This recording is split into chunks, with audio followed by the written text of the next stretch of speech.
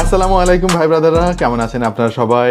দেশের মার্কেটে ভিভো আর একটি নতুন স্মার্টফোন লঞ্চ করে দিল ভিভো ওয়াই সিক্সটিন সো চলুন আমরা প্রথমে আনবক্সিং দিয়ে স্টার্ট করি এরপরে চলে আসি এই ফোনের মূল রিভিউ আমার কাছে থাকা এই মোবাইলটির কালার ভেরিয়েন্টের নাম হলো স্টেলার ব্ল্যাক এই মোবাইলটির আরও একটি কালার ভেরিয়েন্ট রয়েছে সেটার নাম হলো ড্রিজলিং ভিভো কিন্তু বরাবরই তাদের ফোনের ডিজাইনের দিকে বেশ ভালোই নজর দেয়। ওয়াই সিক্সটিন হাতে নিয়েও ঠিক সেই জিনিসটাই আমার কাছে মনে হলো। খুবই চমৎকার লেগেছে এর ডিজাইন আমার। জাস্ট ফোনটা একবার দেখুন।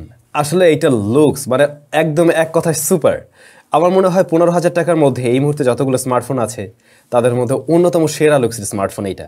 খুবই পাতলা এই ফোনটা মাত্র eight point four seven millimetre পেয়েছি আমরা। পরিমাপ করে ওজনও খুব বেশি নয় মাত্র একশো চুরাশি গ্রামের কাছাকাছি। মোবাইলটার নিচের অংশ রয়েছে main speaker primary mic type C USB charging port এবং three point five M M headphone জ্যাকের port এই মোবাইলটিতে থাকা ফিঙ্গারপ্রিন্ট স্ক্যানারের পজিশন আমার কাছে একদম ঠিকঠাকই মনে হচ্ছে। তার পাশাপাশি ফিঙ্গারপ্রিন্ট স্ক্যানারটি টাচ করার সাথে সাথেই আনলক করে ফেলছিল। সেই সাথে মোবাইলে থাকা ফেস অ্যাঙ্গল সিস্টেমটা যথেষ্ট ফাস্ট এবং স্মুথ কাজ করে। এছাড়াও মোবাইলে ইম্পর্টেন্ট প্রায় সব ধরনের সেন্সর রয়েছে। দেখতে সুন্দর এই ফোনকে পাওয়ার দেওয়ার জন্য রয়েছে। ফাইভ থাউজেন্ড এমএস এর ব্যাটারি সো সব মিলিয়ে এই ব্যাটারিটা আপনাকে কিন্তু দুর্দান্ত একটা মাইলেজ দেবে। আমি অনায়াসে দুই দিন পার করতে পারছিলাম এই ফোনটা দিয়ে।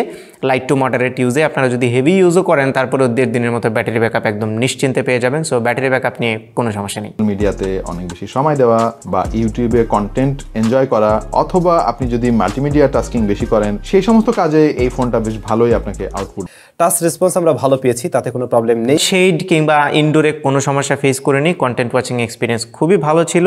সে সাথে এটা টাচ রেসপন্সও খুব ভালো এবং ডিসপ্লেতে কোনো ধরনের কালার নেগেটিভিটি ভিউইং অ্যাঙ্গেল এই টাইপের ইস্যু আমি পাইনি। ভিভো ওয়াই সিক্সটিন রান করছে Funtouch OS twelve based on Android সব থেকে বেশি ভালো লেগেছে যে ব্যাপারটা সেটা হচ্ছে এইটা কিন্তু ফিঙ্গারপ্রিন্ট ম্যাগনেট না। মানে অনেক সময় ব্যবহার করার পরেও আপনার হাতের ছাপ খুব একটা এতে বোঝা যাবে না। সেই ফোনটার পেছনে থার্টিন মেগাপিক্সেলের প্রাইমারি ক্যামেরা আছে আর একটা টু মেগাপিক্সেলের সেকেন্ডারি ক্যামেরা এবং ফ্রন্ট সাইডে একটা ফাইভ মেগাপিক্সেলের সেলফি ক্যামেরা দেওয়া হয়েছে। আপনি এমন একটা ফোন নিতে চাচ্ছেন যেটা চার্জ ব্যাকআপ আপনি যথেষ্ট ভালো চান। তাদের জন্য ওভারঅল রাইট নাও এই প্রাইস বিবেচনায় এই ফোনটা আমার কাছে one of the best phone মনে হয়েছে। Vivo Y16, why so cool? Vivo.